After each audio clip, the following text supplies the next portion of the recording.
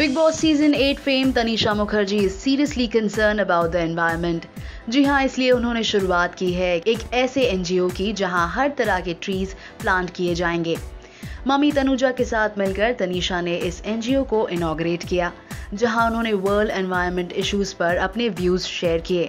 Also spotted here was actress Juhi Chawla Vivan Bhatena and VJ Andy take a look हर इंसान को कुछ करना चाहिए अभी इसी वक्त, क्योंकि we can't wait around any more हमारा इन्वायरमेंट बहुत ख़राब हो गया है।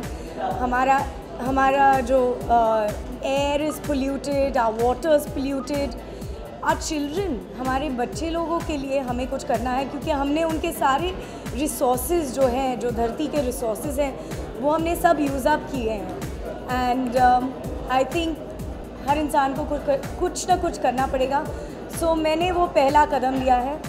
मैंने स्टैम्प uh, क्रिएट किया है और वो basically it's a tree planting initiative हम जितने लोग हमारे साथ जुड़ेंगे उतना ये अच्छा होगा। जितने लोग इसको रियलाइज़ करेंगे और अपने आप कुछ करेंगे वो इतना ही अच्छा होगा। So I just look forward that everybody will come together with stamp um, make this environment a better place, a tree for tomorrow, a tree for your children. Let's leave a greener stamp on this earth for our kids.